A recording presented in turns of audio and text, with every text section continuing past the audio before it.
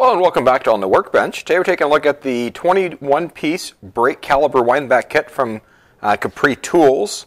This was purchased recently from Amazon because I thought it was time to actually own this kit rather than renting it from the auto parts store every time I needed to do a brake job, which most auto parts stores actually do have kits like this that are available for free.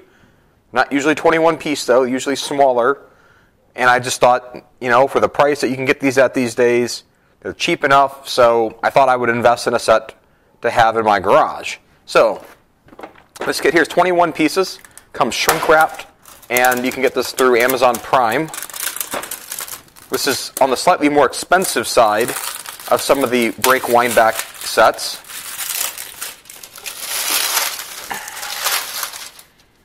One of the things I liked it, one of the things I thought was at least interesting about this was this actually looked from the pictures fundamentally different than all the ones that look like basically knockoffs of Astro Pneumatic uh, windback sets.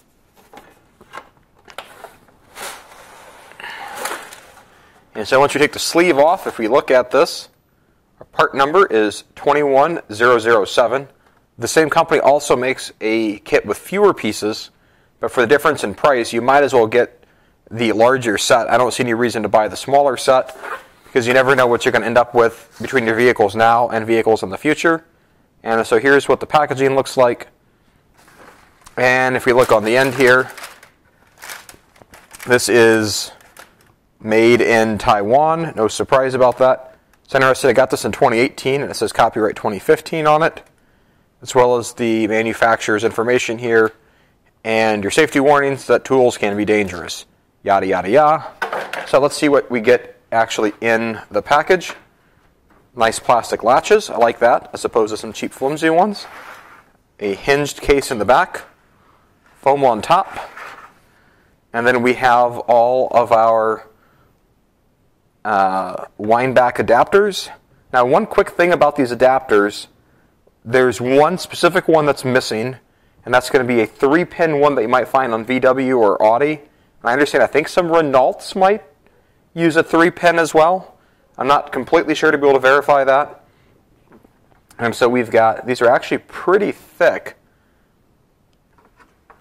pieces compared to some of the ones I've used from auto parts stores. I've definitely used ones that have had thinner adapters. You have to choose the adapter that matches your vehicle. There is no reference chart here, but it's a simple process of trial and error. And this has the left and right hand wind back screws. Uh, certain vehicles require a left-hand uh, drive on one of the uh, rear wheels when you're winding back the parking brake. And so if we look here, this actually says left on there if you can see that. Although it's interesting that it came in the box on the right. So I'm going to see about reversing that because it makes sense to me that the left-hand one would be on the left side. So we'll do that.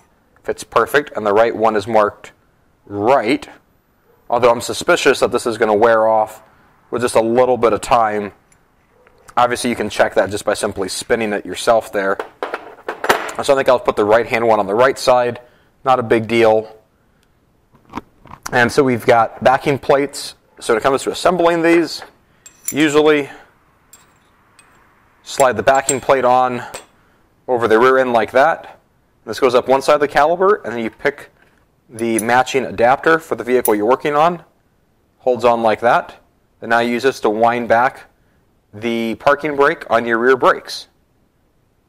You know, having the right tool. There's other ways you can do this by using uh, needle nose pliers on front brakes. You can usually, usually use a flat plate as opposed to these actual pinned plates.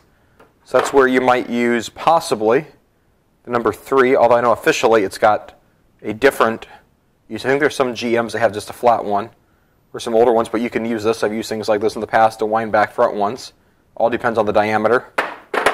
Now I have seen, I can't confirm this, I've seen on eBay certain adapters that have three pins for VW or for Audi, and I can't confirm if they're, if they're compatible with this specific pin size here. Let's take a look at what these pin sizes exactly are. Okay, so looking at these here from side to side, that measures one inch from outside to outside. I'm sorry. So if we measure these from the outside of pin to outside of pin, it's coming in at one inch. If we go between the two pins, that's coming in at half an inch. And the diameter of each of these pins here is about a quarter inch. And so there may be some vehicles that you can actually just use this straight away without an adapter as an extra two pin set. There's obviously a retaining magnet here that helps to hold these adapters in place. This adapter here measures about three eighths of an, just a touch under three eighths of an inch thick. Although it seems like some of the adapters are a little thinner than others. And obviously, you got some other ones here that have other variations. I think some of the older Saabs, like the 9000, some other ones, correct me here, that use the hex in the center. Obviously, you could just use a uh, hex adapter on a ratchet. And then there's also Magic adapter number 5. If you look on the back side here, you see there's no pins there. And so this is set for a 3 8 ratchet. I could put one of these other adapters on there just to straight up use a 3 8 ratchet as my mechanism if for some reason this doesn't get in there the way that you need it. You have this one as a, I guess you call it a backup set of pins, or in case something fails on this, you've got this as a extra a get out of jail free card. Although the magnetic the magnetic hold of the adapter onto this is not quite as good as what's on the actual proper wind back screw here. And so that's a look at the kit from Capri.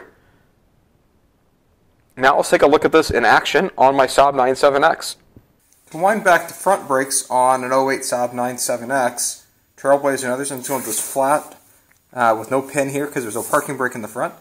And just the, and it's the number one adapter on the back. So that'll allow me to press the caliper back into the brake carrier